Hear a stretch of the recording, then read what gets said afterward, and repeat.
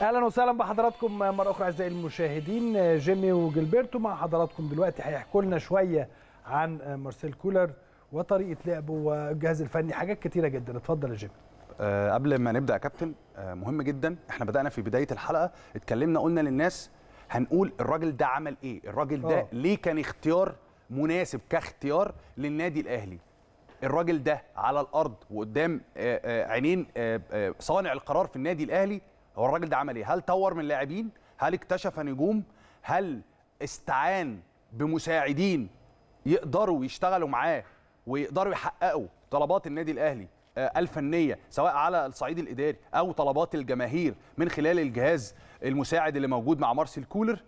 فدي النقاط اللي إحنا هنشتغل عليها تواليا. وبعدين هنروح في آه، آه، بعد ما نتكلم على الجهاز المساعد هنروح نتكلم هو الراجل ده بيشتغل إزاي؟ وقبل ما نقول بيشتغل إزاي هنقول في بوزيشن مهم جدا الراجل مواصفاته فيه عاملة إزاي. فمين من لاعبي النادي الأهلي قد يكون مناسبا لهذه الفكرة؟ فتكون بالنسبة له اتفضل. آه، آه، آه، فرصة. فهنروح نتكلم الأول على أهم النجوم اللي اكتشفهم الراجل ده خلال مسيرته تحديدا لأنها المسيرة الأطول مع منتخب النمسا من 2011 ل 2017 كان في مجموعة من النجوم اكتشفهم. مارسيل كولر وأسماء كتير جدا لكن هناخد منها بعض وليس كل على سبيل المثال وليس الحصر في فترة مارسيل كولر مع منتخب النمسا لأن الجماهير المصرية هتعرف الأسماء. اتفضل يا أيمن. يعني بنتكلم في طبعا منتخب النمسا فكرة إن هو زي ما بيقولوا كده صانع النهضة في النمسا آه وتأهل معاهم لليورو لاعب زي ديفيد ألابا اللي هو من أشهر اللاعبين حاليا واللعيب المحبب لل- للجمهور المصري ويعرفه بشكل كبير جدا. ده واحد من اللعيبة اللي هو ساهم في تطويره كظهير وهو كظهير أيسر وحتى يعني في مسيرته بداياته وهي كانت مع مارسيل آه، كولر. ديفيد ألابا واحد من اللعيبة اللي بعد كده راح بايرن ميونخ وحاليا في ريال مدريد وخد بطولات كبيرة جدا. بنتكلم عن لاعب زي ارناتوفيتش إزاي إن هو بيحب نوعية الأجنحة اللي هي آه، عندها المهارة والسرعة وإن هو اللعيبة الأقوياء وبيهتم جدا بال- بالجانب البدني. بنتكلم بعيدا عن يعني دول من أبرز النجوم أعتقد في منتخب ال- النمسا. كمان حتة بودولوسكي تحديدا لأنه نجم كبير جدا كان في ألمانيا. السنوات وال- والجمهور المصري عارف بودولوسكي وقيمة بودولوسكي وإزاي آه، فترة وجوده في ألمانيا ومنتخب ألمانيا. هذا الرجل بيمتلك ال- ال- العقلية أو ال- الأدوات اللي هو تخليه يطور لعيبة ويكتشف نجوم. فدي فرصة جيدة جدا للعيبة النادي الأهلي إن هي تسير يعني على نهج النجوم دي إن هم يلتزموا مع الراجل بشكل معين يمتصوا كل الخبرات اللي هي عنده. وارد جدا النهارده لعيبة النادي الأهلي اللي هي أصلا لعيبة مميزة واللعيبة التوب في في مصر. لا ده كمان مستواهم إزاي يبقى أفضل ولو عندهم بعض النواقص تزيد مع الراجل ده زي النجوم الكبار آه دول. ويعني ده الصورة اللي على الشاشة الناس ما تستغربش بس ده آه، آه، ألكسندر دراجوفيتش ده لاعب ده لاعب ليستر سيتي. إزاي قدر الراجل يشتغل معاه وهو موجود في منتخب النمسا وقدر إنه ينقله من آه، آه، نادي ال- النجم الأحمر الصربي النادي الأكبر في صربيا إنه يروح يبقى متواجد في آه، آه، ليستر سيتي. آه، وده ماركو أرناتوفيتش طبعا نجم كبير لعب في ال Premier League آه، وحدث ولا حرج يعني. واحد من النجوم وكمان كان في يمكن آه، آه، لوكاس بودوليسكي ده اللعيب ال- الرابع دول أشهر اللاعبين. خلينا بقى آه، نقف هنا آه، للحظات. ونقطة مهمة جدا آه، يا كابتن إسلام. اتفضل. آه، هروح من نقطتين. النقطة الأولانية آه، ماركو ارناوتوفيتش ماركو ارناوتوفيتش إحنا حاطينه كمثال. ماركو ارناوتوفيتش حاطينه كمثال. ما هو الجناح أو مواصفات الجناح المحبب؟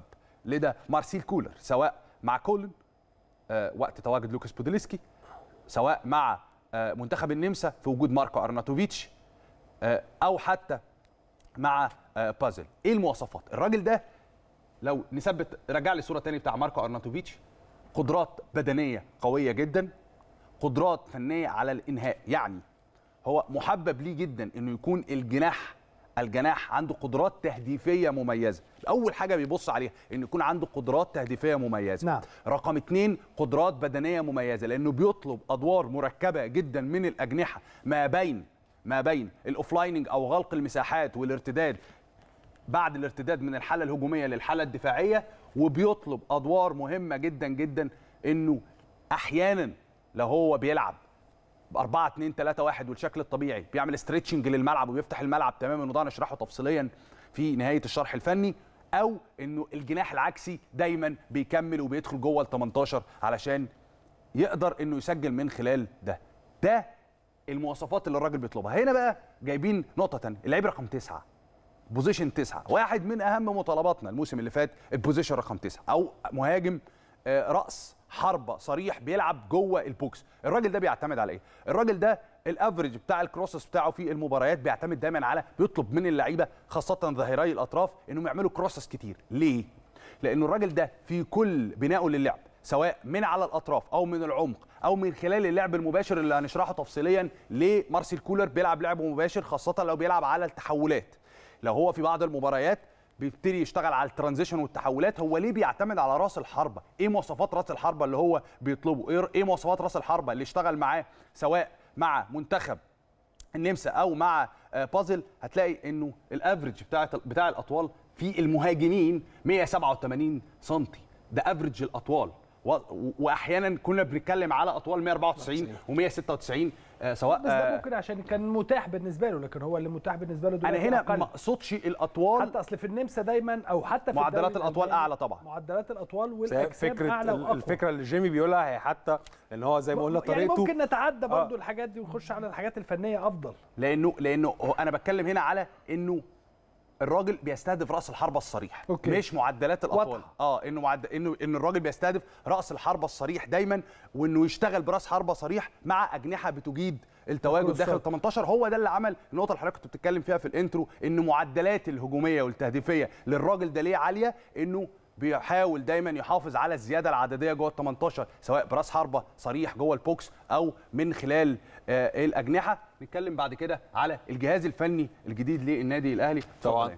سريعا كده بنتكلم عن هارل آه، جامبرلي تحديدا لأنه راجل من المساعدين المهمين جدا آه، اللي مع مارسيل كولر وبيعتمد عليه بشكل كبير. هو راجل اشتغل مع مدربين كبار جدا. بنتكلم على لوسيان فافر وبنتكلم على أدي هوتر.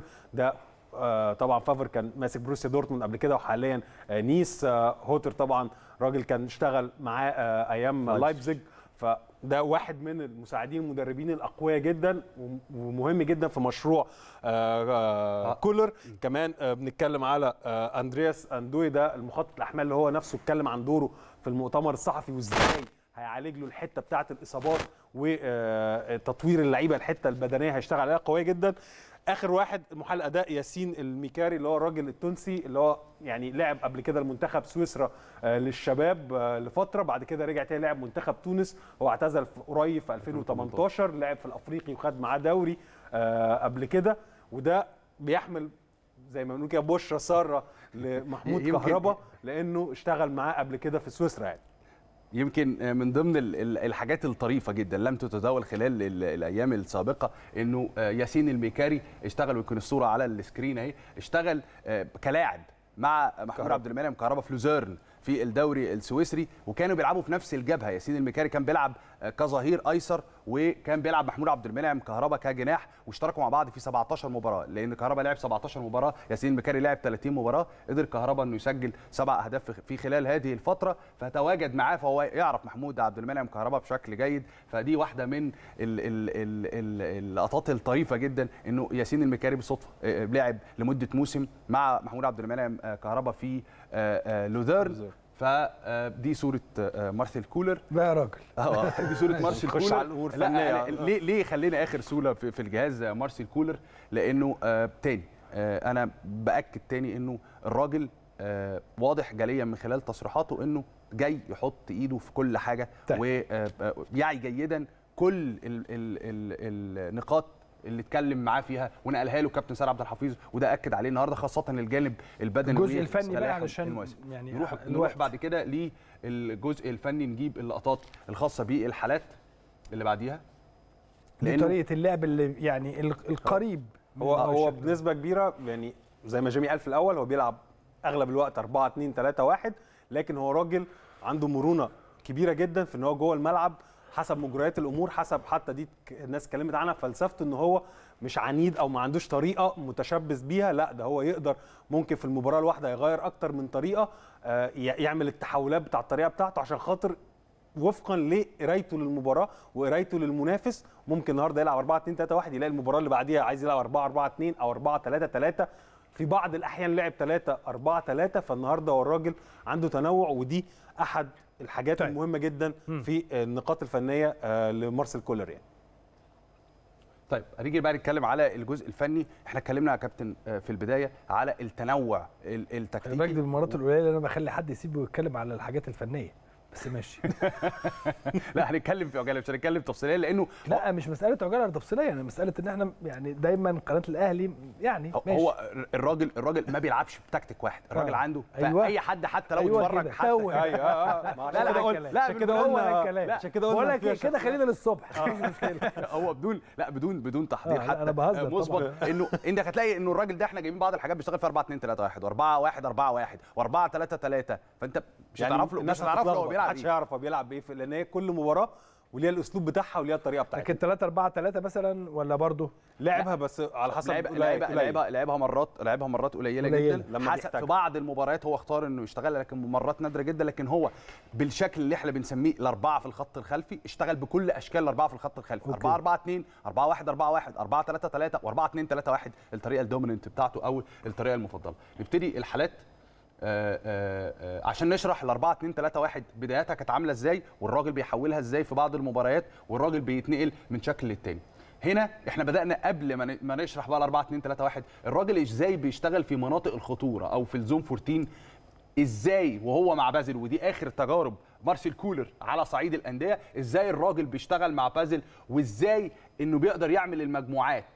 ونقطة مهمة جدا الحصول على ال second ball ده الشغل في ال zone 14 ال zone 14 أو المنطقة علشان نبسطها للناس الا على منطقة الجزاء. إزاي الراجل بيقدر يعمل المجموعات دي وازاي يقدر يروح ليها. ناخد ال- الحالة اللي بعديها الضغط العالي. دايما ونبص هنا يا كابتن. إحنا اتكلمنا ان الطريقة المفضلة بتاعته كام؟ 4 2 3 1 بص هنا. الصورة دي كام؟ واضحة. قدامك. 4 1 4 4 1 1 4 1 ليه؟ علشان يعمل ال high press. عشان الراجل يعمل الضغط العالي. ودايما شايفين الكرة الضغط على حارس المرمى عشان ما يخرجش بالكرة صح. هتلاقيها بتتكرر مرة واثنين وثلاثة وأربعة مع مارسيل كولر الحالة اللي بعديها هنا ده الثانية. ال striker الصريح ليه نازل تحت واللي. زايد هم الأجنحة علشان ياخد ال long ball عشان يقدر يلعب الكرات المباشرة ويقدر يستغل المساحات لأن في المباراة دي كان بيلعب آه، خارج الأرض. فإزاي قدر إنه ينزل الراجل هنا بيشتغل دايما على الراجل ال- ال- ال striker الكلاسيكي علشان يشتغل بالطريقة دي. تاني التجميع والخروج بتاع الأظهرة. إزاي الأظهرة يفتحوا الملعب ويشتغل الوينجات inside علشان يبتدي يشتغل؟ غير الطريقة من 4 2 3 1 خالص وطير الاثنين ودي واحدة من المرات النادرة كان بيشتغل فيها على ثلاثة الضغط العالي بنفس الطريقة. والخروج بالكرة إزاي الخروج من الضغط العالي للمنافس؟ من خلال حارس المرمى. حارس المرمى واحد من ضمن اللعيبة اللي بيعتمد عليها كلاعب في الخط الخلفي إنه إزاي يخرج بالكوره بشكل سليم من خلال حارس المرمى عشان يعمل لاعب زيادة بالخروج. فمهم جدا يكون حارس المرمى بيشتغل آه، بالقدمين بشكل جيد. نفس القصة ونفس الطريقة.